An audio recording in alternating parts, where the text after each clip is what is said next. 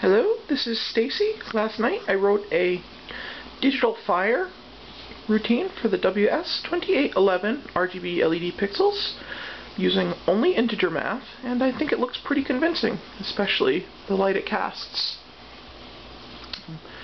It's fairly efficient, runs on the PIC32MX, and, well, that's it.